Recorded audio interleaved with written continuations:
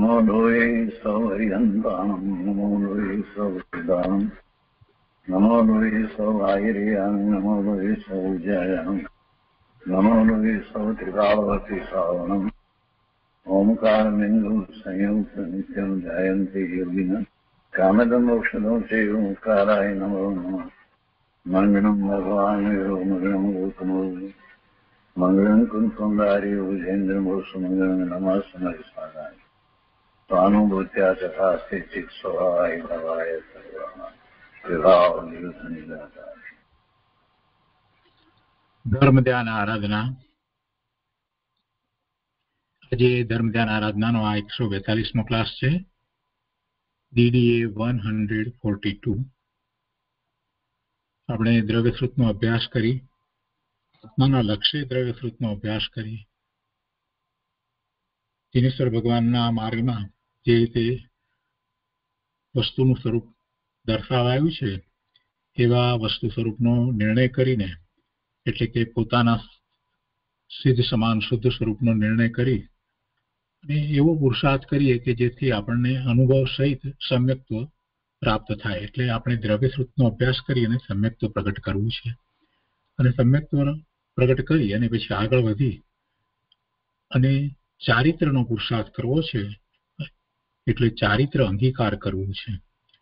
જેવી ભૂમિકા છે એ અનુસાર ચારિત્ર હશે. સમ્યક્ત્વ પછીથી સમ્યક્ત્વ આચરણ ચારિત્ર હોય. અને પછી આગળ વધીએ તો દેશ ચારિત્ર અને પછી સકલ ચારિત્ર. એમ ચારિત્ર અંગીકાર કરવાની ભાવના છે. કેમ કે ચારિત્ર વિના મુક્તિ તો થતી નથી. એટલે આપણો તો આશય એ છે કે દ્રવ્યશ્રુતનો અભ્યાસ આત્માના લક્ષ્ય કરી સમ્યક્ત પ્રગટ કરી અને ગુણી દશા અંગીકાર કરવી છે સાતમા ગુણસ્થાનની દશામાં જ પછી આગળ વધી અને શ્રેણી ચડી અને કેવળ જ્ઞાન પ્રાપ્ત થાય છે એટલે ભાવ મોક્ષની દશા પ્રાપ્ત થાય છે. એટલે મોક્ષ માર્ગ સ્પષ્ટ છે. અંતરમાં મોક્ષ માર્ગ સ્પષ્ટ છે. એટલે પુરુષાર્થ પણ આખો એ રીતે સ્પષ્ટ છે. આ આપણે કરવું છે. અને એ માટે આપણે અત્યારે વર્તમાનમાં શું કરી શકીએ? અને શું કરવું જોઈએ? તો સ્વાધ્યાય કરીએ. સ્વના લક્ષ્ય, અધ્યયન. સ્વ પોતાનું શું છે? એનો નિર્ણય કર્યા પછી જે કંઈ અધ્યયન કરીએ, વારંવાર અભ્યાસ કરીએ, વારંવાર પ્રવૃત્તિ કરીએ, એવા ચિંતન કરીએ, એ બધું જ સ્વાધ્યાયમાં જાય છે, એવો સ્વાધ્યાય. સ્વાધ્યાય એટલે માત્ર વાંચન કે કોઈક બોલે અને સાંભળીએ, એ કાંઈ સ્વાધ્યાય ન કહેવાય. સ્વાધ્યાયમાં તો પોતાને એ જ વખતે અંતરમાં એવો જ વિકલ્પ સહિત ભાવ ઉઠવો જોઈએ.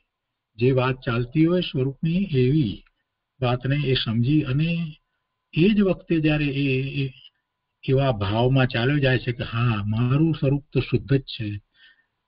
જ્યારે ગુરુદેવના પ્રવચનમાં એ વાત આવે કે તું ભગવાન છો ને, ત્યારે એ જ વખતે અંતરમાં એવો ભાવ ઉગે કે હા, હું ભગવાન છું.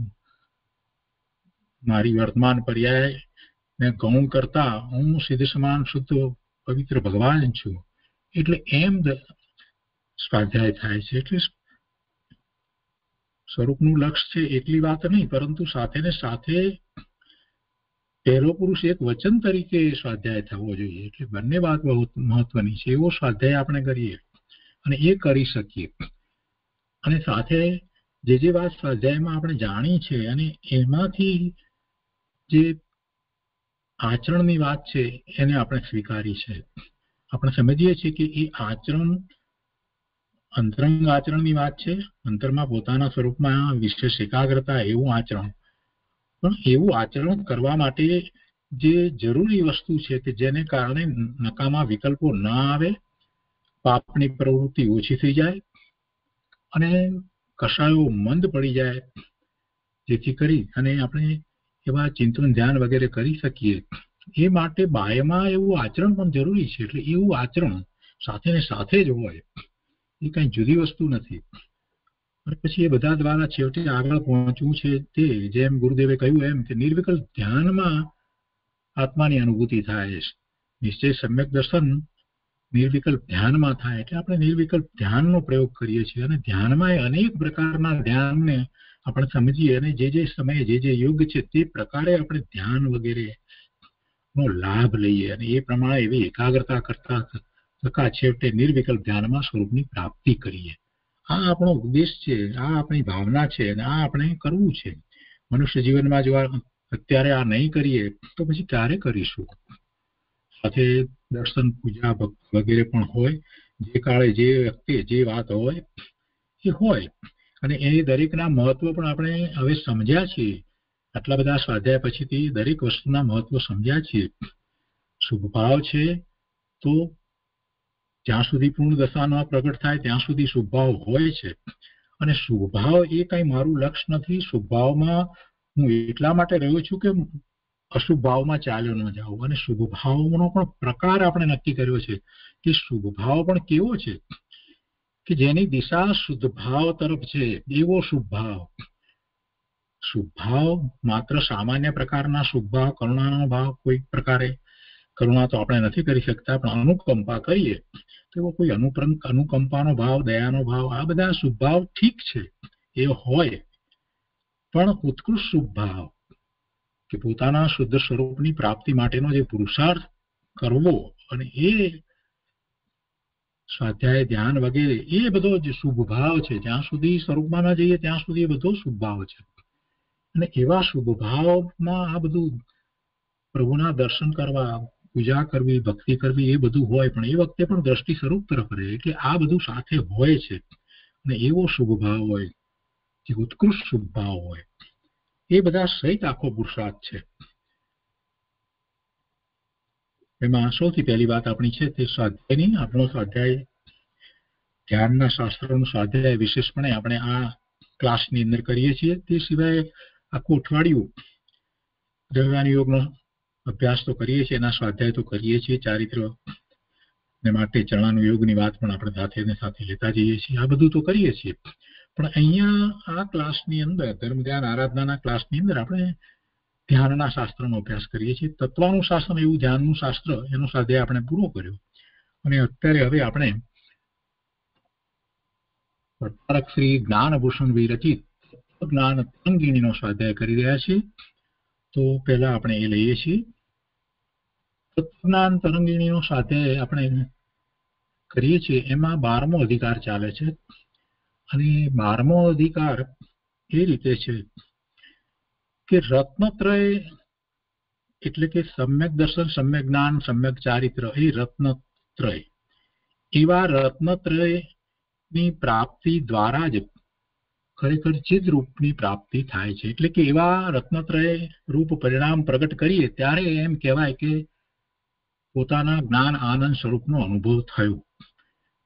એટલે આ અધિકારમાં એ વાત કહેવામાં આવી છે કે જ્યાં સુધી પ્રભુ તું રત્નત્રય પ્રગટ નથી કરતો, ત્યાં સુધી ખરેખર તને આત્માની અનુભૂતિ થતી નથી. ને તારે આત્માની અનુભૂતિ આ રીતે કરવાની છે કે જેની અંદર તને આવા રત્નત્રયના પરિણામ થાય.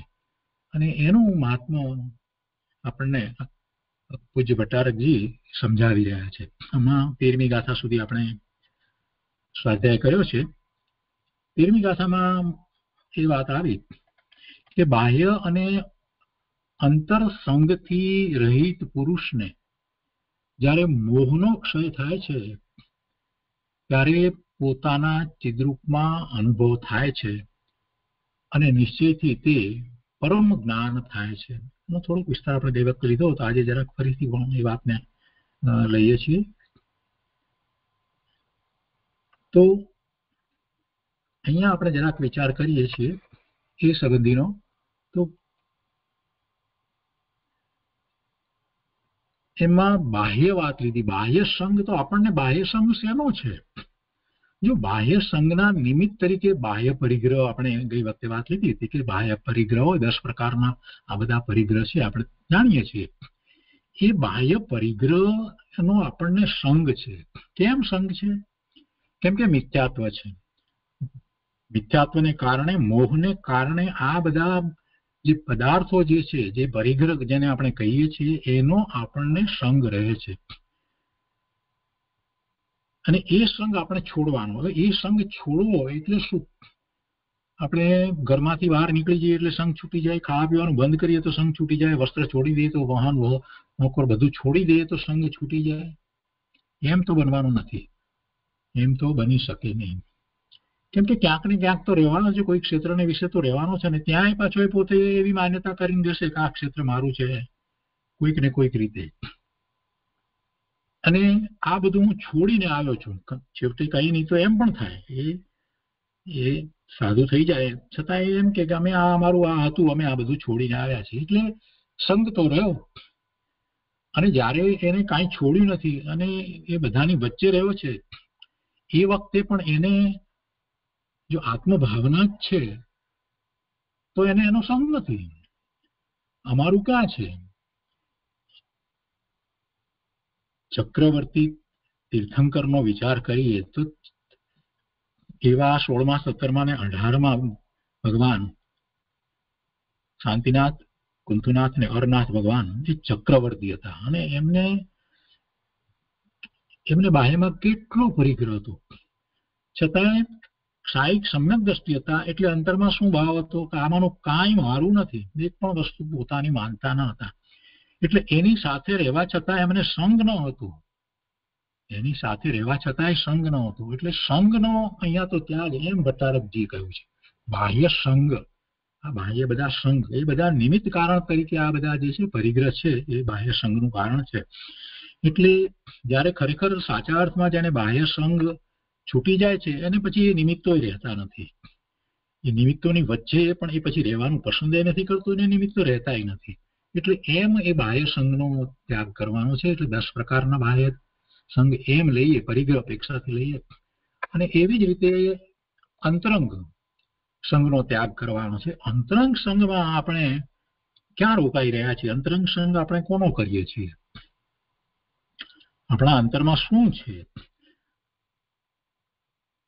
તો અજ્ઞાનને કારણે, અજ્ઞાનનો અર્થ થાય છે કે મિથ્યા, માન્યતા સહિત જે જ્ઞાન છે એ બધું અજ્ઞાન છે. પછી ભલે ગમે તે જ્ઞાન હોય, એ બધી વકીલના જ્ઞાન હોય કે મેડિકલના જ્ઞાન હોય કે એન્જિનિયરિંગના જ્ઞાન હોય, એ બધું અજ્ઞાનમાં જાય. તો મિથ્યાત્વ સહિતનું આપણું અજ્ઞાન છે અને એવા અજ્ઞાન સહિત આપણે અનેક પ્રકારના વિકલ્પોમાં ચાલ્યા જઈએ છીએ. એટલે અધ્યવસાનો આપણને હોય છે, એવા સંકલ્પ વિકલ્પો હોય છે. એ બધાનો આપણને સંગ છે. એ અંતરંગ સંગ છે. એટલાય પ્રકારે આપણે એવા વિકલ્પોમાં રહીએ છીએ. એ એ સંઘ છે. એ એનું મૂળ કારણ શું છે? તો કે મિથ્યાત્વ છે. એટલે સૌથી પહેલી વાત જો કાંઈ પણ હોય તો એ મિથ્યા માન્યતાઓને કારણે જે જે જે જે આપણે કાંઈ પણ વિચારી રહ્યા છીએ, આયોજનો કરીએ છીએ, મનમાં આ બધું જે ચાલી રહ્યું છે ને, એ બધું એનો આપણને અંતરમાં સંગ છે. અને એના સંગે જ આપણે જીવન જીવીએ છીએ. આપણે સંઘની પચેન્દ્રિય થયા છીએ તો આપણને મનમાં જે વિકલ્પો ઉઠે છે, એનો સંઘ તો સતત રહે જ છે ને. મનથી ક્યારેય આપણે જુદા પડ્યા છીએ. એટલે એ સંઘ, અને એમાં મુખ્ય વાત શું છે? મિથ્યાત્વ સહિતનો એ સંઘ છે. સમ્યક દ્રષ્ટિને પણ સંઘની છે, એને પણ વિચાર રહે છે, પણ એને મિથ્યાત્વ નથી. સંઘ છે. મન સાથેનો સંઘ છે, પણ એને મિથ્યાત્વ ગયું છે. એટલે એને એને નડતું નથી. આપણને મિથ્યાત્વ સહિતનો એ સંઘ છે એટલે નડે છે. અને મિથ્યાત્વ સહિતનો સંઘ છે એટલે પછી કસાયો. ક્રોધ, માન, માયા, લોભ એ ચાર પ્રકારના કસાયો એ પછી અનંતાનુબંધીના હોય પ્રત્યાખ્યાના વર્ણિના પ્રત્યાખ્યાના વર્ણિના કે સ્વંજનના તો એ ચાર કસાયો જે ભૂમિકા છે એ પ્રમાણે હોય છે, એનો સંઘ હોય છે. પણ એમાં જ્યારે મિથ્યાત્વ ગયું છે, તો એની સાથે અનંતાનુબંધીના કસાયો જતા રહે છે, એ રહેતા નથી. એટલે પછી બધું જોર ઓછું પડી જાય છે. પછી એ બધા ક્રોધમાન માયા લોભ છે ને, એનું કઈ એટલું મહત્વ રહેતું નથી. પણ છતાં એનો સંગ છે. પણ એ સંગ પછી કેવો છે કે એને તરત જ જીવ જાણી લે છે. સમ્યક દર્શન થયા પછીથી હજી એ અવિરતી સમ્યક દ્રષ્ટિ છે. ચોથા ગુણસ્થાનની દશામાં છે ત્યારે પણ એને અનંતાનુબંધીની ચોપડી ગઈ છે. અનંતાનુબંધીના ક્રોધ, માન, માયા, લોભ ગયા છે. ત્યાર પછીથી બાકીના ત્રણ, એટલે કે અપ્રત્યાખ્યાના વર્ણિના પ્રત્યાખ્યાના વર્ણિના અને સંજરણના એવા ક્રોધ, માન, માયા, લોભ એ પછી એને પડ્યા છે. એટલે કે એના નિમિત્ત રૂપ ચારિત્ર, મોહનીય કર્મની પ્રકૃતિ એને પડી છે અંદરમાં એમ પડી છે. પણ એનું જોર નથી. હવે અનંત તો થવાના નથી. એનું જોર રહેતું નથી અને સમ્યક દર્શન થયું છે. એટલે પેલું સમ્યક્ત્વ સમ્યક શ્રદ્ધાને કારણે આ કષાય જે કષાયના નિમિત્ત જે છે એ ચારિત્રમોહની કર્મના ઉદય, એને કારણે જ્યારે એવા કષાય ભાવે એને પ્રવર્તવાનું થાય છે તો એનાથી જુદો રહી જાય છે. તરત જ એનાથી જુદો પડી જાય છે કે આવા આવા ભાવ મને ન હોય, આવો ક્રોધ મને ન હોય, આવું માન માયા લોભ મને ન હોય. આ મારું સ્વરૂપ નથી. હજી એવી અંદરમાં જે પડેલી છે ને કર્મની પ્રકૃતિઓ, એટલે એના ઉદયો આવે છે, એટલે એને એને કોઈ પ્રકારે, નાના પ્રકારે ક્રોધ વગેરે થાય છે. પણ એ જ સમયે એને, એ જાણે છે અને એનાથી જુદો પડી જાય છે, એની રુચિ કરતો નથી, એટલે આપણે એમ કહીએ છીએ કે એનો સ્વામી થતો નથી. એટલે આ જે કસાયનો જે સંઘ છે, એ સંઘ એ ચાર. અને ત્રીજ, એના પછી છે નવ પ્રકારના નવ કસાયો. રતિ અરતિ હાસ્ય શોક ભય જુગુપ્સા પુરુષ વેદ સ્ત્રી વેદ અને નપુસંક એવા નવ પ્રકારના નો કસાયો, એવા કસાય રૂપ વિચારણા થવી. હું પુરુષ છું. અને કોઈ પ્રકારે અમે તો મોટા ડોક્ટર કહેવાઈએ, એવા માન કસાયને પૂછતો હોય કોઈ પણ રીતે. કોઈ પણ પ્રકારે કોઈ પણ કસાય ભાવ એના અંતરમાં જાગતો હોય. અને ભૂમિકા અનુસાર એનું જોર હોય. જેમ જેમ જેમ જેમ એ ચારિત્રમાં, ચારિત્રની ભૂમિકામાં આગળ વધતો જાય છે, એમ એના જોર ઓછા થતા જાય છે. સંજોલન કસાય જ્યારે બાકી રહ્યા છે મુનિને, ત્યારે આ નવ નો કસાય જે છે એ પણ એવા જ થઈ ગયા છે. એનું કાંઈ જ જોર નથી હોતું. અને ચોથા ગુણસ્થાનની ભૂમિકામાં એને માત્ર પહેલી ચોકડી ગઈ છે અનંતાનુબંધીની, તો એ વખતે એને આ નવ નો કસાય છે મોડા પડી ગયા છે અને એમાં એને વિકલ્પ એવો આવે છે કે અમે તો પુરુષ છીએ ભાઈ. પણ પછી પાછો તરત વિકલ્પ એ આગમતાની સાથે પાછો બીજો જ્ઞાન એને બતાવે છે કોણ પુરુષ ને કોણ સ્ત્રી? ભગવાન આત્માને વળી વેદ કેવો અંદરમાં એમ વિચારી અને એ પાછો એનાથી હટી જાય છે. એટલે કસાયોને એમ એ પોતે મંદ કરતો જાય છે અને કસાયો છે છતાં પણ એને કારણે એને એવા તીવ્ર બંધ પણ નથી થતા. પણ એનો સંગ તો રહ્યો છે ને, આપણે તો સંઘની વાત ચાલી રહી છે. તો એને આ અંતરંગ ચૌદ પ્રકારના જે પરિગ્રહ રૂપ એવો સંઘ છે અને દસ પ્રકારના બાહ્ય પરિગ્રહ લીધા એવો સંઘ. એ સંઘ છોડવાની વાત અહીંયા ભટ્ટારકજીએ કરી છે. તો એ વાત આપણે ગઈ વખતે કરતા હતા, ચૌદ પ્રકારની વાત, કે બાહ્ય અને અંતર સંઘથી રહિત પુરુષને જ્યારે મોહનો ક્ષય થાય છે, જો મોહના ક્ષયની વાત લેવી છે ને એટલે પહેલા ઉપશમ થાય, પછી ક્ષય ઉપશમ અને પછી ક્ષય થઈ જાય છે. ક્ષાયિક સંકિતિ થાય, એને આવી દશા હોય. ત્યારે પોતાના ચિદ્રૂપમાં અનુભવ થાય છે અને નિશ્ચયથી તે પરમ જ્ઞાન થાય છે. જ્ઞાનને પ્રાપ્ત કરે ભલે ચોથા ગુણસ્થાનની ભૂમિકામાં હોય તો પણ એને એવો એક વખત અનુભવ થાય છે. સમ્યક દર્શન થયું છે અને પછી આગળ એમ જ એ વધે છે. એટલે ચિદ્રૂપનો અનુભવ તો ત્યારે થાય છે. વિશેષ અનુભવ થાય છે. જેમ જેમ એની ભૂમિકામાં એ આગળ વધતો જાય છે. અને પેલો સંગ જે છે એના નિમિત્ત કારણો પણ હવે ઓછા થઈ ગયા છે અને મુનિ દશામાં તો પછી સંઘના ચારિત્ર મોહની કર્મના ની પ્રકૃતિઓ એ પણ હવે અતિ અલ્પ રહી છે. એમ એ ઘટતું જાય છે. એ વખતે પછી વધારે ને વધારે ચિદ્રુપમાં એકાગ્રતા કરતો જાય છે. એટલે ચિદ્રુપનો અનુભવ જે છે, એની માત્રા વધતી જાય છે. પોતાના સ્વરૂપનો અનુભવ ક્ષણિક અનુભવ, વિશેષ અનુભવ, પછી તેમાં એકાગ્રતા વિશેષ, રમણતા, લીનતા, સ્વરૂપમાં લીનતા. એ ત્યાં સુધીની દશાની વાત આમાંથી આપણને પ્રાપ્ત થાય છે. અને એમાં આ બાહ્ય અને અંતરંગ સંગથી રહિત પુરુષને જ્યારે મોહનો ક્ષય થાય છે, ત્યારે પોતાના ચિત્રૂપમાં અનુભવ થાય છે અને નિશ્ચયથી તે પરમ જ્ઞાન થાય છે. હવે આમાંથી એક વાત આપણને બહુ સહેલાઈથી સ્પષ્ટ સમજાઈ જાય છે કે સૌથી પહેલી વાત જો કાંઈ પણ હોય, તો એ એનું એનો મોહ હતો, એનું મિથ્યાત્વ હતું. એટલે એ બાહ્ય અને અંતરંગ એવા પરિગ્રહ તીવ્રતા સહિત એ આત્માની અનુભૂતિ કરી શકતો જ ન હતો. જ્યારે મોહ જાય છે, ત્યારે આ બધું શરૂ થાય છે અને એમ એ પોતે ચિરૂપને પ્રાપ્ત કરે છે. સૌથી પહેલું જવું જોઈએ શું? તો મોહ. મોહ ક્યારે જાય છે? તો કે એ સમ્યક પ્રગટ કરે છે, ત્યારે મોહ જાય છે. તો આ તેરમી ગાથાનો આપણે થોડો વધારે વિસ્તાર લીધો આજે. હવે ચૌદમી ગાથા તરફ જઈએ. ચૌદમી ગાથા આમાં કહે છે કે અશુભ કર્મથી જ્યાં નિવૃત્તિ, શુભમાં પ્રવૃત્તિ ધારે, તે ચારિત્ર કહ્યું વ્યવહારે, જ્ઞાનીએ તેર પ્રકારે રે. તેર પ્રકારે ચારિત્ર એવું વ્યવહારથી કહેવામાં આવ્યું છે. જેમાં અશુભ કર્મથી જ્યાં નિવૃત્તિ હોય અને શુભમાં પ્રવૃત્તિ હોય. અશુભથી નિવૃત્તિ થવામાં મૂળ વાત તો એ છે કે જેને શુદ્ધની દ્રષ્ટિ રહે છે ને એને ખરેખર અશુભથી નિવૃત્તિ થાય. પણ કોઈ એમ કે મારે શુભમાં જ રહેવું છે ને અશુભ નથી જોઈતું તો નહીં થાય. એ નહીં થાય. પણ જ્યારે એ શુદ્ધનો વિચાર કરે કે ના, મારે શુદ્ધ ભાવમાં જવું છે, શુદ્ધ ભાવમાં જવું છે, તો એના પ્રયત્નમાં, એના પુરુષાર્થમાં એ આપોઆપ શુભમાં જ રહેવાનું છે. જ્યારે એ શુદ્ધ ભાવનો પુરુષાર્થ કરે ને, ત્યારે એને શુભમાં રહેવાનું સહેલાઈથી થઈ જાય છે.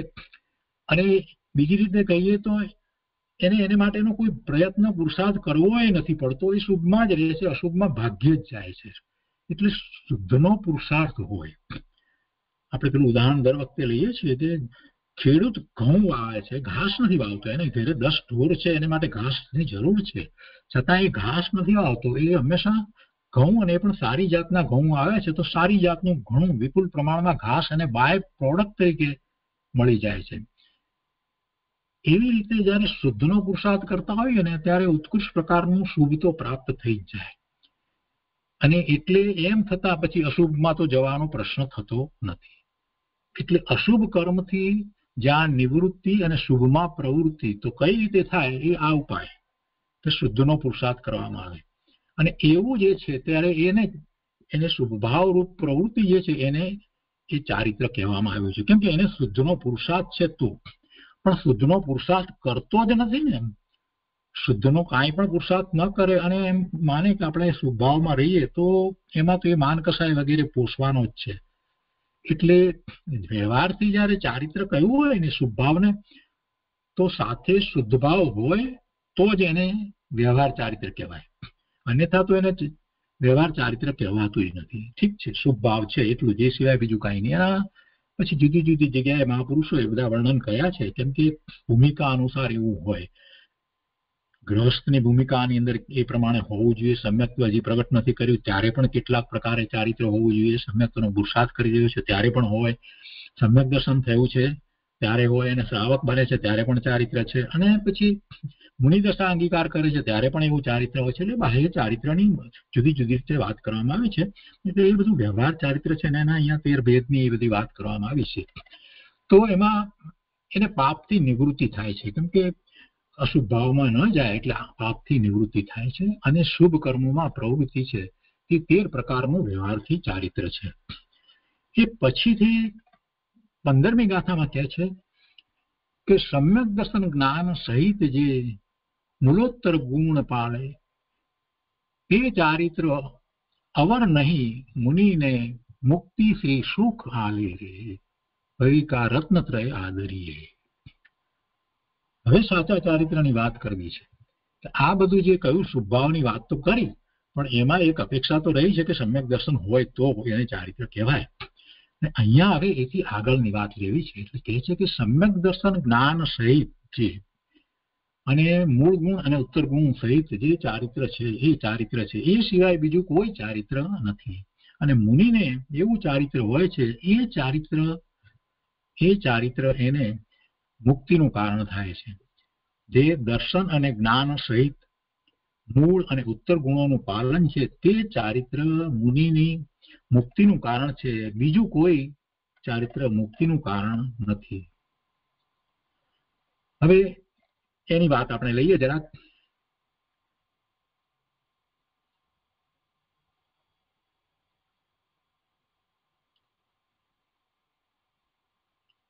ચારિત્રની વાત છે તેમાં ચારિત્ર એટલે સંયમ.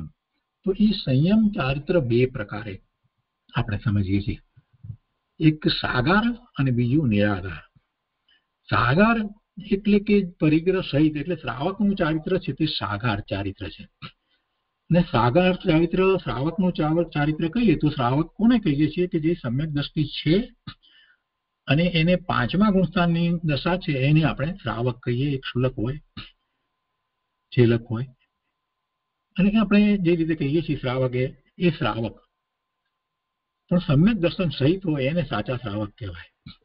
પાણિયાને ઘેરે જન્મ્યા એટલે શ્રાવક એવો અર્થ નથી થતો. પણ છતાં પણ આપણે એટલું એટલું કહી શકીએ કે જેને સમ્યક્તનો પુરુષાર્થ ઉપડ્યો છે અને એવો જે પુરુષાર્થ કરી રહ્યો છે અને બાહ્યમાં એવું જે ચારિત્ર છે તો એ બરાબર છે એને માટે એ ઠીક છે. એ જે પાંચમા ગુણસ્થાનની દશામાં જે છે એના જેવું એ ચારિત્ર જો પાળતો હોય તો એના માટે બહુ સારી વાત છે. કેમ કે સમ્યક તો થશે એટલે પછી એને બહુ સહેલું થઈ જશે. એને એવું ચારિત્ર પાળવાની શરૂઆત કરી દીધી છે. એને એની જેટલી શક્તિ છે, યથાશક્તિ, તો એ સારી વાત છે એને માટે. એટલે એ ચારિત્રમાં હજી એને પરિગ્રહ છૂટ્યા નથી. એટલે પરિગ્રહ રહિત એનું એ શ્રાવકનું ચારિત્ર હોય છે. પછી નિરાકાર ચારિત્ર જે કહ્યું એ એ મુનિના ચારિત્રની વાત છે. એમાં પરિગ્રહ રહિત હોય છે. નિર્ગ્રંથ દશા છે. મુનિને ચારિત્ર કેવું છે? એમનું ચારિત્ર દીક્ષા અંગીકાર કરે છે તો સર્વ પરિત્યાગ કરી અને એ ચાલી નીકળે છે. અને એમને નિર્ગ્રંથ મુનિ દશા છે, અઠ્યાવીસ મૂળ ગુણ સહિતનું એમનું ચારિત્ર હોય છે. એટલે બાહ્યમાં એવું અઠ્યાવીસ મૂળ ગુણ સહિત છે. અને અંતરંગ દશા જે છે, એમાં એનો વિશેષ પુરુષાર્થ થઈ રહ્યો છે. એ મુનિરાજ સાતમા ગુણસ્થાનની દશાને પ્રગટ કરે છે. એટલે સાતમું ગુણસ્થાન છે એ વખતે જ્યારે બાહ્યમાં અઠ્યાવીસ મૂળ ગુણ સહિત ચારિત્ર છે. તો એ એ મુનિ આગળ વધી અને શ્રેણી ચડી શકે છે. વર્તમાનમાં ભરત ક્ષેત્રને વિશે કદાચ સાતમું ગુણસ્થાન આવવું બહુ અઘરું છે અને કદાચ હોય તો પણ શ્રેણી ન ચડી શકે. પણ શ્રેણી જે ચડે છે એને સાતમું ગુણસ્થાન હોય તો એને એને અંતરંગ દશા એવી હોય ને બાયમાં અઠ્યાવીસ મૂળ ગુણ સહિતનું એને ચારિત્ર હોય છે. હવે એ વાત પછી આપણે લઈએ, આપણે અહીંયા સાગર ચારિત્રની વાત જે છે એ પહેલા લઈ લઈએ. સાગર ચારિત્રની વાત જે છે, તો શ્રાવકના ચારિત્રની વાત કરીએ, તો એ ચારિત્રમાં દિગંબર અપેક્ષાએ બહુ સરસ રીતે વાત કરવામાં આવી છે કે અગિયાર પ્રતિમા, અથવા તો અગિયાર પ્રતિજ્ઞા, અથવા તો અગિયાર પડીમાં. એવી અગિયાર પડીમાં પૂર્વકનું ચારિત્ર હોય છે. આપણને જ્યારે આટલો પુરુષાર્થ કરતા હોઈએ ગમે પ્રાપ્તિનો તો ત્યારે કંઈક તો ચારિત્ર હોવું જોઈએ કે ન હોવું જોઈએ? તો એમાંની આ અગિયાર જે એક પછી એક આગળ વધતા વધતા ઉત્કૃષ્ટ દશાઓ થતી જાય એ માટે ની બાહ્ય ચારિત્રની જે વાત જે છે, એને આપણે સમજપૂર્વક અપનાવવાની છે. અને એ સમજપૂર્વક જ અપનાવીએ તો જ કાર્યકારી થશે. સમજ્યા વિના તો ઘણા લોકો અત્યારે દિગંબર સંપ્રદાયની અંદર પડીમાં લઈ લે છે, આવી પ્રતિમાઓ લઈ લે છે. પણ કાંઈ એથી અર્થ સરતો નથી. થોડો શુભભાવ હોય છે એસી વિશેષ કાંઈ થતું નથી. પણ આપણે સમજપૂર્વક, અને એ સમજ આપણને ફર્સ્ટ પાવડોમાં ચારિત્ર પાવડની અંદર આચાર્ય ભગવાને બહુ સરસ રીતે સ્પષ્ટ કરી છે. અને એને આપણે સમજવાની છે સમ્યક્તના પુરુષાર્થની સાથે એ વસ્તુ જરૂરી છે. તો પડીમાં કઈ છે? કે દર્શન પડીમાં, અથવા તો પ્રતિમા કઈ છે? તો કે દર્શન, પહેલી પ્રતિમા છે, દર્શન પ્રતિમા. આપણે અત્યારે એનો વિસ્તાર નહીં કરીએ. પણ એનો અભ્યાસ પૂર્વે કરેલો છે એટલે સહેજ આપણે એને સમજી લઈએ. વ્રત પ્રતિમા છે, બીજી, ત્યાર પછી સામાયિક પુરુષદો ઉપવાસ સચિત ત્યાગ, રાત્રિ ભોજન ત્યાગ, બ્રહ્મચર્ય, આરંભ ત્યાગ, પરિગ્રહ ત્યાગ, અનુમતિ ત્યાગ અને ઉદિષ્ટ ત્યાગ. ઉદિષ્ટ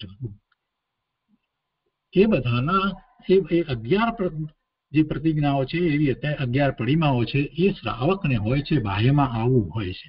આમાંથી આપણે જેટલું જેટલું કરતા જઈએ, આગળ વધતા જઈએ, આખો ક્રમમાં ન જઈ શકીએ અને કદાચ એક વસ્તુ પહેલેથી જ આપણે કરી દઈએ દાખલા તરીકે ઉદ્દેશનો ત્યાગ અમુક રીતે અમુક પ્રમાણમાં આપણે કરી શકતા હોઈએ, ભલે અતિચાર સહિત પણ હોય પણ તો પણ એ જ રીતે બ્રહ્મચર્યની વાત છે, દર્શનની વાત છે, કેટલાક વ્રતનો અંગીકાર કરી શકતા હોઈએ, સચિતનો ત્યાગ, રાત્રિ ભોજન ત્યાગ, જેટલું કરી શકીએ છીએ તે તે આપણે અપનાવી લેવું જોઈએ અને એના તરફ એના તરફ લક્ષ આપવું જોઈએ. માત્ર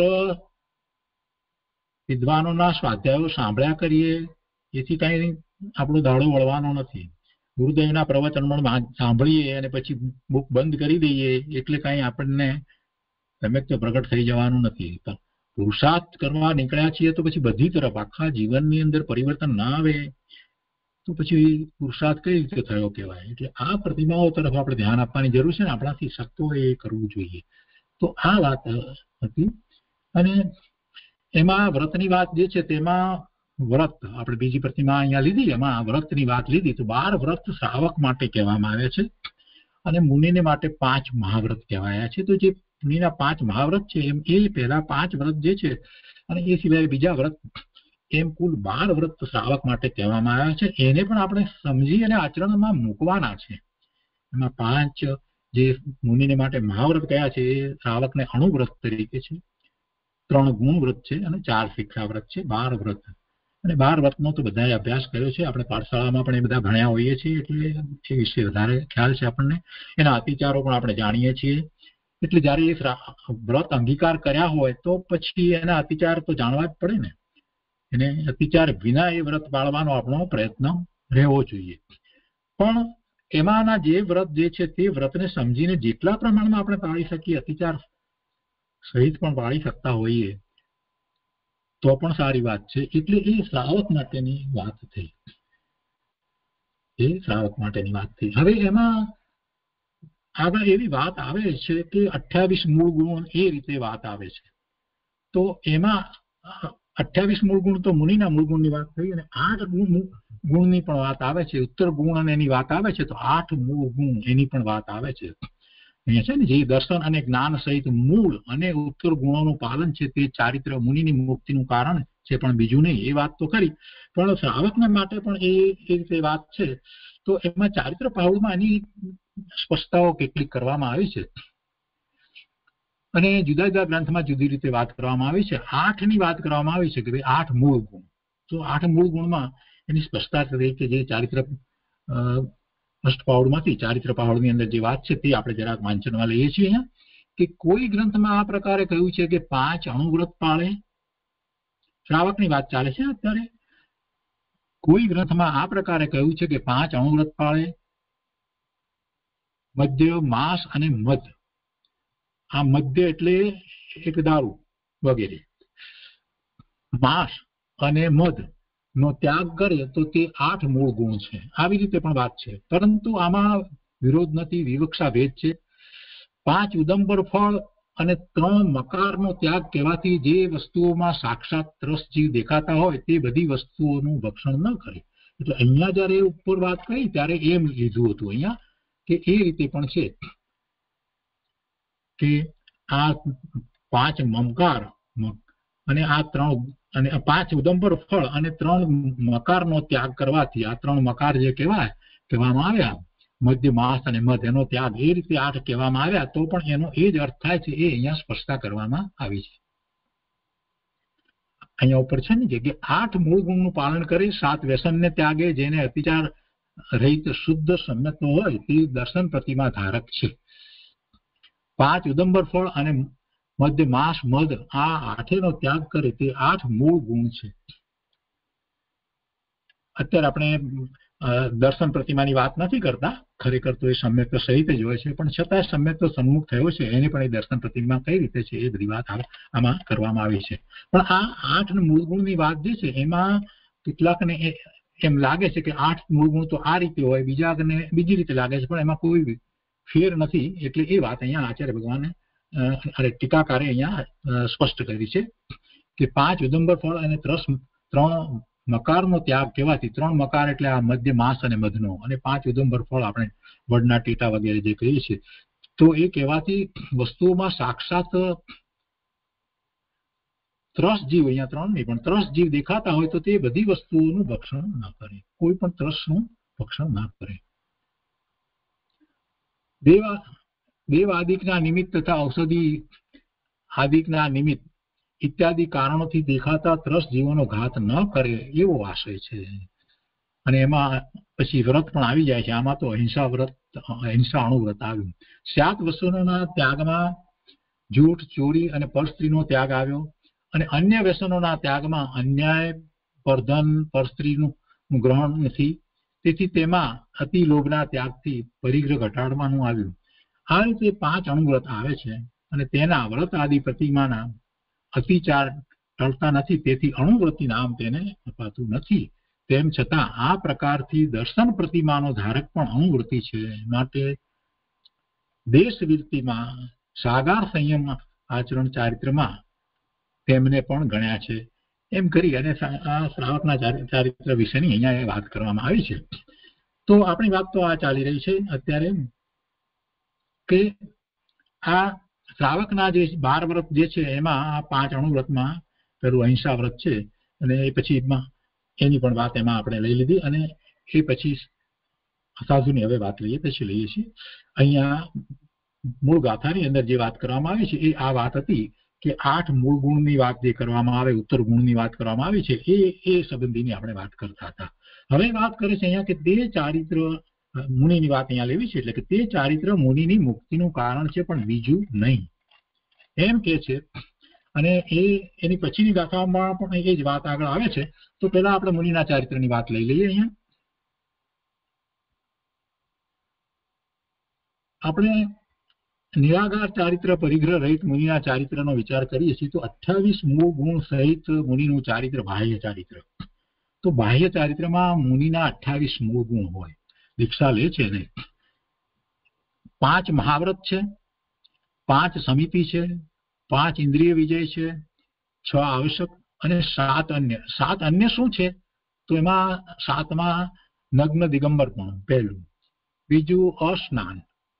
ત્રીજું અદંત ધોવન, ચોથું કેશ લોચન, પાંચમું એકવાર આહાર, છઠ્ઠું ઊભા આહાર અને સાતમું ભૂમિ સહન આ સાત વસ્તુ અને પેલી એકવીસ વસ્તુ. પાંચ મહાવ્રત પાંચ સમિતિ, પાંચ ઇન્દ્રિય વિજય અને છ આવશ્યક એમ એકવીસ. અને આ સાત, આ અઠ્યાવીસ મૂળ ગુણ મુનિના કહેવામાં આવે છે. અને એવું જે ચારિત્ર જે છે, એવું ચોખ્ખું ચારિત્ર હોય એ મુનિને હોય જ છે. એ એવું ચોખ્ખું ચારિત્ર હોય જ છે. એવું ચારિત્ર હોય નહીં અને કોઈ કહે કે મુનિ દશા છે, તો એ મુનિ દશા માની શકાય નહીં. આ ચારિત્ર તો પહેલી વસ્તુ છે. કોઈને માટે આપણે એમ કહીએ કે એમની દશા સાતમા ગુણસ્થાનની છે, તો સાતમું ગુણસ્થાન આપણે એ અંતરંગ દશા છે, એ આપણે શોધી શકતા નથી. એવી રીતે ખબર પડે કે આ બધા લગ્ન દિગંબર મુનિ જે છે, એમાંથી સાતમું ગુણસ્થાન કોને હોય? તો સહેલો રસ્તો એ છે કે પહેલી વાત તો જેને આપણે મુનિ માનીએ છીએ, સાધુ માનીએ છીએ, એમાં એ નિર્ગ્રંથ મુનિ બાહ્યમાં આપણને દેખાતા હોય અને જેને આવા અઠ્યાવીસ મૂળનું સહિત ચોખ્ખું બાહ્ય દ્રવ્યલિંગ હોય, એમાં જ આપણે જોવાનું રહે કે એમાંથી જ કોઈકને સાતમા ગુણસ્થાનની દશા હશે.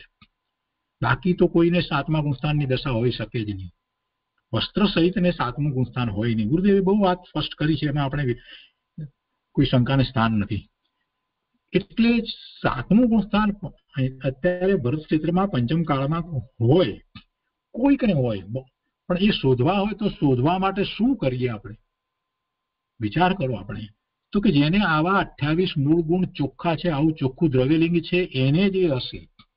એટલે કેટલીક વખત આપણે મુનિ એવા ચોખ્ખું ગુણ દ્રવ્યલિંગ પાળતા હોય, એના સંબંધી ઘણીવાર આપણે જાણ્યા જાણતા કે જાણતા. આપણે અભિમાનમાં આવી જઈએ અને આપણે એમ કહીએ કે આ તો દ્રવ્યલિંગી છે દ્રવ્યલિંગી છે. અને એવું અત્યારે વર્તમાનમાં ઘણું ચાલી રહ્યું છે. કેમ કે ગુરુદેવ જે વાત કરે છે, મૂળ વાત જે કરે છે, એમનો આશય તો ભાવલિંગી મુનિ કેવા હોય એના વર્ણનનો છે.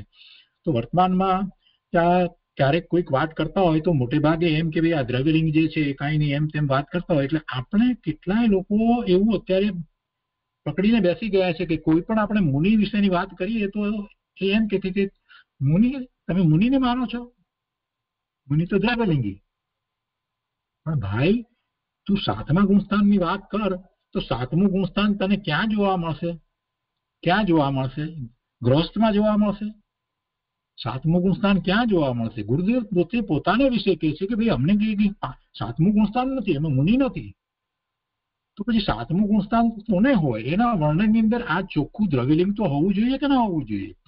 ચોખ્ખું દ્રવ્યલિંગ જેને છે, એના પ્રત્યે તું શુક્ર નાકનું ટેરવું ચડાવી રહ્યો છે. જો આ વાત હું એટલા માટે કહું છું કે અહીંયા એક એટલું મોટું ગ્રુપ છે, બધા પાછા એ એમ, એ પોતાની જાતને એમ માને છે કે તો બધા આ રીતે બધા સ્વાધ્યાય કરવા વાળા છે, સ્વાધ્યાય છે વગેરે વગેરે, હિન્દીમાં સ્વાધ્યાય બધા કરે છે વિદ્વાનોનો સ્વાધ્યાય પંડિતોના સ્વાધ્યાય બધું કરે છે, આખું ગ્રુપ આખું બધું. અને એમાં ક્યારેક કંઈક વાત આવે, મુનિની અમે જયારે વાત કરીએ અને કે તમે મુનિને માનો છો, આવો પ્રશ્ન કરે છે. આવું તો એક વખત નહીં પણ કેટલી વાર થયું છે. મુનિનું નામ પડતા આ રીતે વાત કરે છે.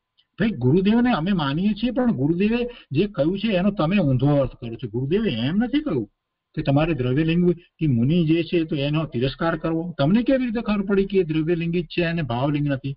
અરે, એને ચોથું ગુણસ્થાન પણ હોય ભાવ અંતરમાં. અને બાહ્યમાં બાહ્યમાં છઠ્ઠા ગુણસ્થાન જેવું ચોખ્ખું દ્રવ્યલિંગ પણ હોય.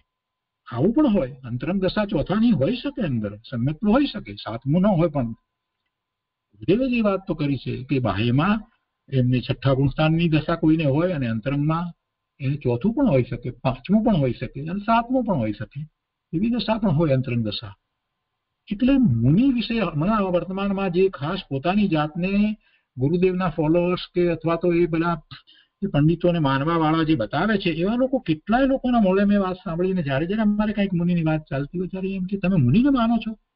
મેં કીધું મુનિને ન માનીએ તો કોને માનીએ મુનિ દશા આવ્યા વિના તો મુનિ દશા આવ્યા વિના તો સમ્યક આગળ ચારિત્રનો પુરુષાર્થ થતોય નથી અને મુનિ દશા અંગીકાર કરીએ એટલે કામ પૂરું થઈ ગયું મુનિ દશા અંગીકાર કરવા માટે થઈને તો આ બધું કરીએ છીએ અમારે તો એવા ભાવલિંગી મુનિ થવું છે અને ભાવલિંગી મુનિ થનારને પહેલા વસ્ત્ર ઉતરી જાય પછી સાતમું આવે છે સાતમું આવે ને વસ્ત્ર ઉતરે એમ નથી થતું અને એ વાત માટે ગુરુદેવે ઘણી બધી વાત કરી છે બાહુબલી સ્વામી ને ભરત સ્વામીની વાત કરતા ભરત મહારાજને કેવળ જ્ઞાન થયું, તો એ વસ્ત્ર સહિત નહોતું થયું. વસ્ત્ર પહેલા ઉતરી ગયા અને ત્યારે એ અંતરંગ દશામાં સાતમું આવ્યું ને સાતમાથી શ્રેણી ચડે છે. શ્રેણી ચડવા માટે સાતમું ગુણસ્થાન આવવું જરૂરી છે અને શ્રેણી ચડે તો કેવળ જ્ઞાન પ્રગટ કરે. તો ભરત મહારાજાને હરીસા ભુવનમાં કેવળ જ્ઞાન થયું તો આપણે ઉપરથી વિચાર કરતા નીચે ઉતરીએ તો કેવળ જ્ઞાન થયું તે પહેલા તેરમું ગુણસ્થાન કેવળ આવ્યું હોય પહેલા, સાતમું તો આવ્યું હોય ને, તો સાતમું ક્યારે આવે? સાતમું ગુણસ્થાન આવે તો એમાંથી એ આગળ વધી અને શ્રેણી ચડે આઠમું, નવમું, દસમું અને પછી એ બારમે આવે અને બારમા પછી તેરમે આવે. આ બધું થાય. તો સાતમું તો આવ્યું જ હશે. તો સાતમું આવે ત્યારે બાયમાં વસ્ત્ર ન હોય. પરિગ્રહ ન હોય. બિલકુલ નિર્ગમ દશા હોય. એવી નિર્ગમ દશા જેને અત્યારે લીધી છે અને જે એવા પુરુષાર્થ કરી રહ્યા છે. અને પોતે જાણે છે પોતાની દશા કેવી છે એ મુનિ તો જાણે છે પોતાને. કદાચ સમ્યક્તનો પુરુષાર્થ ચાલી રહ્યો હોય, અનુભૂતિ ન થઈ હોય, અનુભૂતિનો પુરુષાર્થ કરતા હોય તેમાં ખોટું શું છે? એમના પ્રત્યે આપણને એ દુગંછા શા માટે થવી જોઈએ? વર્તમાનમાં બહુ ચાલી રહ્યું છે પોતાને ગુરુદેવના મોટો ભક્ત ગણાવે છે અને આવી વાતો કરે છે, એટલે મારે આ જરા કહેવાની જરૂર પડી છે કે એટલે આપણે અંતરમાં એવો ક્યારેય વિકલ્પ ન લાવવો. કેમ કે જે ચારિત્ર પાળે છે, એ ચારિત્ર અધૂરું છે વગેરે છે, ગુરુદેવ બોલી શકે, કેમ કે ગુરુદેવની વાત જુદી હતી, એ પોતે પોતાને સાધુ નહોતા કેવડાવતા અને જે દશા હતી એમાં એમને મુનિ કહેતા હતા, તેમને કહ્યું કે ના, અમે મુનિ નહીં. અને એમની પંચમ ગુણસ્થાનની ઊંચી દશા હતી અને એ તો સમજાવવા માટે કહેતા હતા કે આટલાથી સંતોષાય ન જવું. એ અપેક્ષાથી વાત હતી. જ્યારે મોટાભાગના લોકોએ વર્તમાનમાં એ જ વાત લઈ લીધી છે અને એમ જ માની રહ્યા છે. એટલે દિગંબર મુનિ જે છે, એમના પ્રત્યે એવો એવો ક્યારેય વિચાર ન કરવો. આવા અઠ્યાવીસ મૂળ ગુણ સહિત ચારિત્રની આ વાત હતી. ઠીક છે? તો મુનિનું આવું ચારિત્ર હોય છે. હવે આપણે આગળ વધીએ.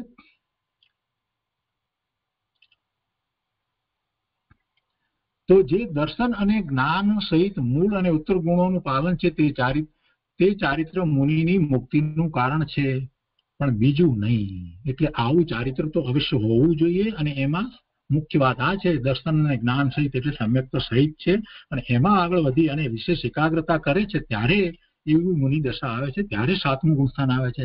સાતમું ગુણસ્થાન કઈ સહેલાઈથી આવી જાય છે એવી વાત નથી. એ જ ચિદ્રૂપની પ્રાપ્તિ છે, એ જ રત્નત્રયના પરિણામ છે. તો હવે પછીથી સોળમી ગાથા છે. એમાં અહીંયા કહે છે કે સંગ તજી જીન મુદ્રા ધારી સમતા દર્શન જ્ઞાને ચિદ્રુપ શુદ્ધ સ્મરે ત્યાં તેને ચારિત્ર ઉત્તમ ધ્યાને રે. ભવિકા રત્નત્રય આદરીએ. તો સોળ ગાથામાં અહીંયા કહે છે કે જે જીવ સંગ કે પરિગ્રહ છોડીને વિતરાગ મુદ્રા ધારણ કરી, જો આ વિતરાગ મુદ્રા ક્યારે ધારણ કરી શકે? સમ્યક દર્શન થયું છે, એ જ ખરેખર એવી વિતરાગ મુદ્રા ધારણ કરે. મુદ્રા એટલે મોઢાના દેખાવની વાત નથી. વિતરાગ મુદ્રા તો જેને સમ્યક દર્શન થયું છે, એને બાહ્યમાં કોઈ જગ્યાએ હવે રસ નથી. એટલે એવો જ્ઞાન સહિતનો એવો અદભુત વૈરાગ વર્તે છે અને શાંત શાંત પોતાના ભાવ છે. એટલે મુદ્રા એવી શાંત છે. આપણે સમ્યક્ત્વમાં વાત કરી છે. પ્રસમ પ્રસમ ભાવ હોય છે. તો એવી વિતરાગ મુદ્રા ધારણ કરી અને પછી લિંગ પણ એવું ધારણ કરે છે. એવું લિંગ બાહ્યમાં પણ એવું લિંગ ધારણ કરે છે. અને ક્ષમતા ભાવ એવું ચારિત્ર. જો અહીંયા સમતા ભાવમાં ચારિત્ર કાંસમાં મૂક્યું છે. સમતા ભાવ એટલે સામાયિક એને સમતા ભાવ કહેવામાં આવ્યું છે ને એ ચારિત્ર છે. ખરેખર ચારિત્ર તો એ ચારિત્ર છે. તો એવા સમતા ભાવ રૂપ ચારિત્ર અને સાચી સામાયિક કોને છે? સમ્યક દ્રષ્ટિને છે અને મુનિને. મુનિને જે સમતા ભાવ છે. જો સમતા ભાવ એ સામાન્ય લોકો એમ લે છે કે બધા સરખા, એ સમતા ભાવ નથી. સમતા ભાવ તો છ છ દ્રવ્ય જે છે એ સ્વતંત્ર રીતે પરિણમી રહ્યા છે. એક દ્રવ્ય બીજા દ્રવ્યનું કાંઈ કરતું જ નથી અને હું શુદ્ધ સ્વરૂપ ભગવાન આત્મા છું, એવું મારું જીવ દ્રવ્ય શુદ્ધ છે. અને એવા શુદ્ધ દ્રવ્યને બીજું કોઈ કાંઈ કરાવી શકતું નથી, એની અંદર કોઈ એના પરિણામને ફેરવી શકતું નથી અને આ શુદ્ધ દ્રવ્ય બીજાના કોઈના પરિણામ ફેરવતું નથી. એવો એવો જ્યારે નિર્ણય થાય છે, તો પછી એવો સંભાવ પ્રવર્તે છે. અને સંભાવ પ્રવર્તે છે, તો જગતના પદાર્થો પ્રત્યેની રુચિ છૂટી જાય છે. બીજે ક્યાંય પછી એને સુખની ભાવના થતી જ નથી, સુખની પ્રાપ્તિની ભાવના થતી જ નથી. એ સંભાવ છે. એમાં એ પછી હીરો હોય કે ધૂળ હોય, બધું એને તો ઉદ્ગળ જ દેખાય છે, એવી વાત છે. એ બધું ધૂળ છે, ગુરુદેવ જેમ કે છે ને, ધૂળ છે. એટલે એને દ્રવ્ય દ્રષ્ટિ થઈ છે. એવી એને દ્રવ્ય સૃષ્ટિ થઈ છે, એને સંભાવ હોય છે. એટલે આવું ચારિત્ર. એ સંભાવરૂપ ચારિત્ર ખરેખર જોઈએ સમરસી ભાવ જેને પ્રગટ થયો છે, એ મુનિ દશામાં હોય છે, તો એ સાથે દર્શન જ્ઞાન છે, સમ્યક શ્રદ્ધાન છે, સમ્યક જ્ઞાન છે, એ ધારણ કરીને શુદ્ધ ચિદ્રૂપનું ચિંતન કરે છે. તેનું ચારિત્ર ખરેખર ઉત્તમ છે. અરે, આવી દશામાં શુદ્ધ ચિદ્રૂપનું ચિંતન કરે. ચિંતન એટલે માત્ર વિકલ્પ એમ નહીં. પોતે એ છે, એવું ચિંતન થાય છે. પોતાનું સ્વરૂપ શુદ્ધ છે, એવું ચિંતન થાય છે. અને આ રીતે ચિંતન જ્યારે થાય છે, તો એમાંથી એ પોતે નિર્વિકલ્પ ધ્યાનમાં પહોંચી જાય છે. અને એ એ ચારિત્ર છે.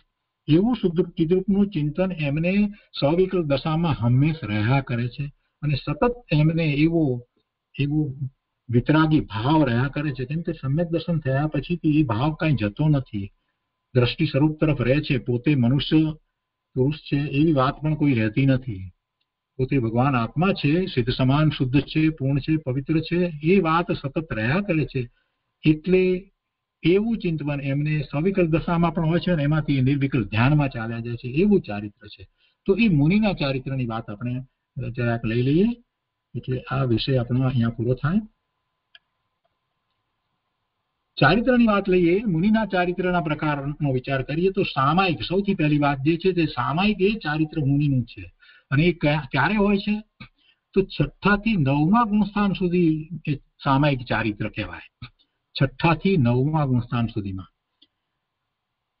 એના પછી છેદોપ સ્થાપના છે. એ પણ છઠ્ઠા થી નવમા ગુણસ્થાન સુધીમાં. એમાં એના બધા વર્ણન જે છે, તત્વસૂત્રની અંદર બધા આપ્યા છે. અત્યારે બધા એનો વિસ્તાર નથી લેતા. સામાયિક મૂળ ચારિત્ર છે ને એમાંથી જે કંઈ પોતાની સ્થિતિમાં કાંઈક એને નીચે ઉતરવું થાય છે, તો ફરી પાછો એ પોતે સ્થિતિકરણ કરી લે છે. એવું એ છેદોપસ્થાપના જે રૂપ ચારિત્ર જે છે, એ પણ છઠ્ઠા થી નવમા ગુણસ્થાન સુધીમાં હોય છે. પરિહાર વિશુદ્ધિ એ છઠ્ઠા સાતમા ગુણસ્થાનનું ચારિત્ર છે. અને સૂક્ષ્મ સાંપ્રાય જે પછી આગળ વધે છે, તે એને દસમું ગુણસ્થાન આવે છે, તો એ સૂક્ષ્મ સાંપ્રાય છે. જો સામાયિક ચારિત્રમાં છઠ્ઠા, સાતમા ગુણસ્થાનથી આગળ વધીને શ્રેણી ચડે છે, તો નવમા ગુણસ્થાન સુધી સામાયિક ચારિત્ર કહેવાય છે. અને પછી દસમા ગુણસ્થાને પહોંચે છે અને જે ચારિત્ર છે એને સૂક્ષ્મ સાંપ્રાય એવું ચારિત્ર નામ આપવામાં આવ્યું છે. જો આ જે સામાયિક, આ ચારિત્રની વાત જે છે, એ અંતરંગ ચારિત્રની વાત છે. આપણે બાહ્ય ચારિત્રની વાત તો અઠ્યાવીસ મૂળ ગુણ સહિત એ તો આપણે લઈ લીધી. અત્યારે વાત ચાલી રહી છે, એ અંતરંગ ચારિત્રની વાત ચાલી રહી છે. સૂક્ષ્મ સાંપ્રાય એવું દસમું ગુણસ્થાન. ત્યારે જે ચારિત્ર છે તે સૂક્ષ્મ સાંપ્રાય છે. અને ત્યાંથી દસમેથી દસમેથી પછી આગળ વધે છે અને જો અગિયારમે જાય છે, ત્યારે પણ એને અથાખ્યા ચારિત્ર છે. કેમ કે ઉત્તમ શ્રેણી ચડીને ત્યાં ગયા છે. એટલે હવે અગિયારમે થી પછી એ બારમે નથી જતા. પાછા પડે છે, પાછા સાતમે આવી અને પછી પાછા સવિકલ્પ છઠ્ઠે આવે છે અને પછી પછી પાછો ફરીથી એવો પુરુષાર્થ કરે છે. ફરીથી શ્રેણી ચડવાનો પુરુષાર્થ એમને થાય છે. પણ જે દસમે થી બારમે જાય છે, એ બારમે ગયા પછીથી ત્યાં બીજું શુક્લ ધ્યાન પ્રગટે છે અને પછી તેરમા ગુણસ્થાનની દશાને પ્રાપ્ત કરે છે. એટલે યથાર્થ ચારિત્ર એ અપેક્ષાથી જોઈએ તો અગિયારમાંથી ચૌદમા સુધીના ગુણસ્થાનની અંદર યથાખ્યાત ચારિત્ર છે. આ બધા ચારિત્રનો વિચાર આપણે બહુ વિસ્તારપૂર્વક ક્યારેક કરીશું. અત્યારે આપણે આ વાત લીધી છે. પણ સૂત્રની અંદર, રામજીભાઈની ટીકાની અંદર આ બધો વિસ્તાર કરવામાં આવ્યો છે અને ત્યાંથી અભ્યાસ કરી લેવા માટે મારી ખાસ અનુમોદના પણ છે. તો આ મુનિના અંતરંગ ચારિત્રની વાત લેવામાં આવી. કેમ કે મુનિ દશા છે એટલે પછી છઠ્ઠા ગુણસ્થાનથી શરૂ કરી અને ચૌદમા ગુણસ્થાનની બધી એમના ચારિત્ર વિશેની વાત આવે ને. એટલે બાહ્યમાં આ ચારિત્ર સતત રહે છે. મૂળ ગુણ સહિત જીવાત જે છે રહે છે. પણ એની સભાનતા ક્યારે હોય? છઠ્ઠે હોય ત્યારે સભાનતા હોય. પછી તો નિર્વિકલ્પ ધ્યાનમાં છે સાતમાંથી. તો પછી આ જે અંતરંગ ચારિત્ર જે છે, એમાં સાતમાંથી શરૂ કરીને બધી જે દશા છે, એ વખતે પેલું બાહ્યમાં જે ચારિત્ર જે છે, એ તરફ લક્ષ જતું જ નથી. કેમ કે એ નિર્વિકલ્પ ધ્યાનમાં છે. તો આ ચારિત્રની વાત છે.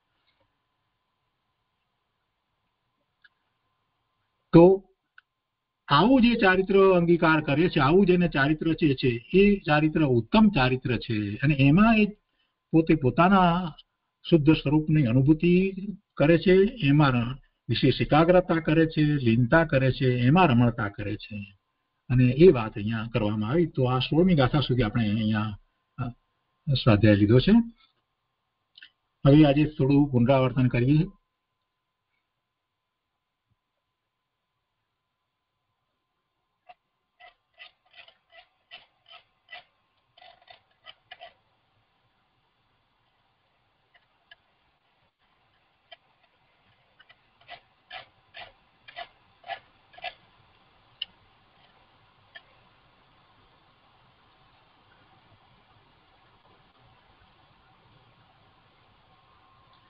હા. પુનરાવર્તનની અંદર આપણે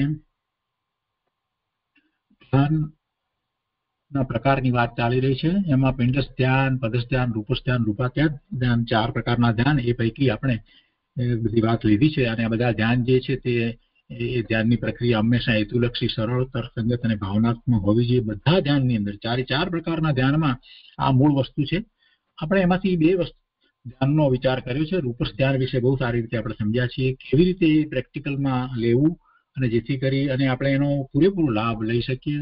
મંદિરમાં જઈએ છીએ ત્યારે અથવા ઘેરે પણ એ કરી શકીએ છીએ. એ અવશ્ય કરવું. અને એમાં આપણે અરિયંત પરમાત્માના દ્રવ્ય ગુણ પર્યાય નો વિચાર કરી અને એની સાથે કેવી રીતે આપણે પોતાના સ્વરૂપનો વિચાર કરવો અને કેવી રીતે પદસ ધ્યાન કરવું એ બધી વાત લીધી. એટલે એમાં આપણે આ એસીની ગાથા પ્રવચનસારની એનો પણ વિસ્તાર કર્યો હતો.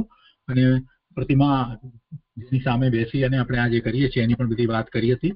એ પછીથી પદસ્થ ધ્યાનની વાત લીધી. પદ, એક અને એ પદ જે છે, એ પદસ્થ ધ્યાનની અંદર નૌકાર મંત્ર એ પણ પદ છે, એ દ્વારા પણ એ થઈ શકે. પણ આપણે ખાસ કરીને સિદ્ધ ભગવાનને નમસ્કાર કરીએ છીએ કોઈ એક નામ લઈને નમસ્કાર કરીએ છીએ એ રીતે નમો સિદ્ધેભ્ય કરીને પણ નમસ્કાર કરીએ છીએ, એ રીતે પણ આપણે કરીએ છીએ. આપણા જે ચાર સ્ટેપ જે છે, એની અંદર પણ આ આપણે સામાન્ય રીતે એ જ ક્રમ લીધો છે. પહેલા આપણે અરિયંત પરમાત્માને નમસ્કાર કરીએ છીએ, એમના નામ લઈને નમસ્કાર કરીએ છીએ. પછી સિદ્ધ ભગવાનને નમસ્કાર કરીએ છીએ, એમના પણ નામ લઈને નમસ્કાર કરીએ છીએ. અને પછી સિદ્ધ ભગવાનના નામ લઈને નમસ્કાર કરીએ છીએ. તો એમ, એમાં પછી એ સિદ્ધ ભગવાનનું જેવું સ્વરૂપ છે, એવું જ મારું સ્વરૂપ છે. એ ભાવ સહિત આપણે પછી આગળ વધીએ છીએ. આપણા જે સ્ટેપ છે એની અંદર. એટલે આ માં આપણે પદસ ધ્યાનની અંદર એ વાત લીધી છે કે જ્યારે જ્યારે આપણે આપણો નિર્વિકલ્પ ધ્યાનનો પ્રયોગ ન કરતા હોઈએ ત્યારે પણ આવું પદસ ધ્યાન કરવું અને એને આપણે અત્યાર સુધી જેને જાપ કહેતા હતા, એ જાપને આપણે અથવા તો માળા ગણીએ છીએ એમ કહેતા હતા, એને આપણે પદસ ધ્યાનમાં કેવી રીતે ફેરવીએ છીએ એ વાત આપણે લીધી હતી. એટલે આપણને એ વાત સમજાય છે કે ખરેખર જપ એટલે શું? જપ કેવી રીતે કાર્યકારી થાય છે? એ દ્વારા આપણે પોતાના સ્વરૂપ પોતાના સ્વરૂપની દ્રઢતા કરતા જઈએ છીએ કે હું શરીર રહિત સિદ્ધ સમાન છું. હું માત્ર એક એક મારી સત્તા છે, એમાં જ રહ્યો છું. અસંખ્ય પ્રદેશ અને અનંત ગુણ એવી મારી જે સત્તા છે તે શુદ્ધ સ્વરૂપ છે. અને એમાં હું રહ્યો છું અને એની એની બહાર હું ક્યાંય પહોંચતો નથી, બીજું કઈ મારામાં પહોંચતું નથી. એવો સિદ્ધ સમાન શુદ્ધ હું છું. એવો ભાવ આપણને થાય છે. સિદ્ધ ભગવાનને નમસ્કાર કરતા જઈએ છીએ તો એ પદસ ધ્યાન એ રીતે થાય છે અને શું જપવું એ એમાંથી આપણને નક્કી થઈ જાય છે કે આપણે તો એક નામ લઈએ, કોઈ પણ એક નામ લઈએ તો પણ છેવટે તો આપણે અનંત સિદ્ધ ભગવાનને નમસ્કાર કરીએ છીએ અને એમાં સિદ્ધ ભગવાનના સ્વરૂપને ધ્યાવીએ છીએ એટલે એવું જ મારું સ્વરૂપ છે એમ આપણે પ્રાપ્ત કરીએ છીએ અને એવી દ્રઢતા કરી અને પછી સિમંદર સ્વામીના સમુસરણમાં આવી અને જાણે કે આપણે બેસી જઈએ છીએ ભગવાનની ઓમકાર ધ્વનિને ગ્રહણ કરવા માટે. આવો આપણો ભાવ છે. પછી ત્રીજું જે છે, આપણે રૂપ ધ્યાન ને પદ ધ્યાનની વાત કરી, તે પછીથી જે ત્રીજું છે તે આપણે લઈએ છીએ રૂપાતી ધ્યાન હવે રૂપાતી ધ્યાન ને આપણે સ્ટેપમાં પછી વાત લઈએ, પણ પહેલા રૂપાતીત ધ્યાનને સમજી લઈએ. રૂપાતીત રૂપ વિના જે ધ્યાન જે તેને રૂપાતીત ધ્યાન કહેવાય, રૂપ વિના. કેટલાક લોકો એને સિદ્ધનું ધ્યાન પણ કહે છે રૂપાતીત ધ્યાન પણ આપણે જે રૂપાતીત ધ્યાનની વાત જે કરીએ છીએ, તો રૂપાતીત ધ્યાનમાં આપણે તો જ્ઞાન આરાધના જેમાં કોઈ રૂપની વાત નથી. રૂપાતી ધ્યાન એટલે આપણે જે જીનેશ્વર ભગવાનની વાણી જે છે, એને આપણે ગ્રહણ કરીએ છીએ, જે વાણીને કોઈ રૂપ નથી હોતું. ઓમકાર ધ્વનિ જે છે, એ ઓમકાર ધ્વનિ દ્વારા આપણે જ્ઞાન પ્રકાશ પામીએ છીએ. કેમ પામીએ છીએ? કેમ કે આપણો જે સ્વભાવ છે, જ્ઞાન સ્વભાવ છે. જ્ઞાન સ્વભાવ છે તો એ જ્ઞાન સ્વભાવને સ્ટિમ્યુલેશન એમ કહીએ તો ચાલે. એટલે કે નિમિત્ત શું છે? જ્ઞાન સ્વભાવ તો છે. જીવ માત્રનો જ્ઞાન સ્વભાવ છે. પણ જ્યાં એ જ્ઞાન સ્વભાવની પ્રગટતાનું કારણ સ્ટિમ્યુલેશન શું છે? તો કે ભગવાનની વાણી છે, જે જ્ઞાન છે તે. જે ભગવાનની વાણી, જે જીનવાણી છે તે. એ જીનવાણી જે છે એની આરાધના, એને આપણે રૂપાતી ધ્યાન તરીકે લઈએ છીએ. એ રૂપાતી ધ્યાનમાં ભગવાનની વાણીનું કેવી રીતે તો એ જ્ઞાન આરાધના કરી અને આપણે રૂપાતી ધ્યાન કરીએ છીએ. કેટલાક લોકો સિદ્ધ ભગવાન ના સ્વરૂપનો પણ એમાં વિચાર કરે છે, એમાં પણ વાંધો નથી. પણ આપણો અહીંયા જે જે પર્પઝ જે છે એ પ્રમાણે આપણે રૂપ સિવાય જેનું ધ્યાન કરીએ છીએ. આપણે અર્યંત અને સિદ્ધ ભગવાનની વાત લીધી તો એ સિવાય હવે બાકી શું રહ્યું? ભગવાન પાસેથી આપણે જે પ્રાપ્ત કરવાનું છે એનો વિચાર જો ન કરીએ ભગવાન પાસેથી જે પ્રાપ્ત કરવાનું છે, એનો આપણે વિચાર ન કરીએ તો આપણું ધ્યાન અધૂરું રહી જાય કે ન રહી જાય? આપણે સ્વવિકલ્પ દશાનો વિચાર કરીએ. સ્વવિકલ્પ દશાનો વિચાર કરીએ તો પણ. અને નિર્વિકલ્પ દશાનો વિચાર કરીએ તો પણ. એટલે આપણા જે ધ્યાનના સ્ટેપ જે છે નિર્વિકલ્પમાં, એમાં પણ આપણું રૂપાતી ધ્યાન આવી જાય છે અને સ્વવિકલ્પ દશાની અંદર પણ આપણે રૂપાતી ધ્યાનનો જ વિચાર કરીએ. જ્ઞાન આરાધના. રૂપાતી ધ્યાનનો એ રીતે આપણે અર્થ કરીએ તો ખરેખર આપણે જ્ઞાન આરાધના કરીએ છીએ. એટલે ઓમકાર ઓમકાર દ્વારા મને મને મારા સ્વરૂપની પ્રાપ્તિ થાય છે. ઓમકાર એ નિમિત્ત કારણ છે. ઓમકાર એ ખરેખર તો ભગવાનની વાણી છે, જીનવાણી છે અને એના સંબંધી આપણે ઘણો વિચાર કર્યો છે. અને એ વાતને આપણે ખૂબ દ્રઢ કરીએ છીએ. એ વાતને આપણે ખૂબ દ્રઢ કરીએ છીએ તો સવિકલ્પ દશાની અંદર પણ વારંવાર એનો નિર્ણય થાય છે કે એ એ જે ઓમ દ્વારા જે વસ્તુ જે કહેવામાં આવી છે તે જ મારું સ્વરૂપ છે એટલે એ એ જ હું જ્ઞાન સ્વરૂપ છું. એવો હું જ્ઞાન સ્વરૂપ છું. એટલે આ ઓમ બોલી અને આપણે આપણા પોતાના શુદ્ધ સ્વરૂપ તરફ વળી જઈએ છીએ, એવું આ રૂપાતીત ધ્યાન છે. ઓમ કહેતા જ આપણે પોતાના શુદ્ધ સ્વરૂપ તરફ વળીએ. કેમ કે આપણે એવું સ્વીકારી લઈએ છીએ કે હું ઓમકાર સ્વરૂપ છું, એટલે જ્ઞાન સ્વરૂપ છું. અને એટલા માટે આપણે ઓમકાર શા માટે? એનો આપણે ઘણો વિચાર કર્યો હતો. અને આ બધી વાતને સમજ્યા પછીથી ઓમકારની અનાદિનો છે, સ્વયં સિદ્ધ છે, કેવળ જ્ઞાનની પ્રસિદ્ધિ કરનાર છે, જ્ઞાન પ્રસારનું માધ્યમ છે ભાષાના બંધન રહિત છે, અતિન્દ્રિય ધ્વનિ છે, શક્તિરૂપ મંત્ર છે, આ બધી વસ્તુનો ખૂબ આપણે પહેલા વિચાર કર્યો છે. એટલે એવા ઓમકારને આપણે ગ્રહણ કરીએ છીએ, ભગવાન તરફથી જે આપણને પ્રાપ્ત થાય છે એને ગ્રહણ કરીએ છીએ, એટલે જ્ઞાનને સંપાદન કરીએ છીએ, એવી જ્ઞાન આરાધના કરીએ છીએ અને એવું જ મારું સ્વરૂપ છે. એવું જ મારું સ્વરૂપ છે, એવું ઓમકાર સ્વરૂપ છે. એટલે એક માત્ર ઓમ બોલતા જ આપણને સ્વરૂપનું લક્ષ થઈ જાય છે. એટલી આપણે દ્રઢતા કરીએ છીએ, એવું રૂપાતી ધ્યાન આપણે કરીએ છીએ. અને આના સંબંધી આપણે વિસ્તારપૂર્વક વાત આપણે આવતા ક્લાસમાં લઈશું. આજનો સ્વાધ્યાય અને આજનો ક્લાસ અહીંયા પૂરો કરીએ છીએ.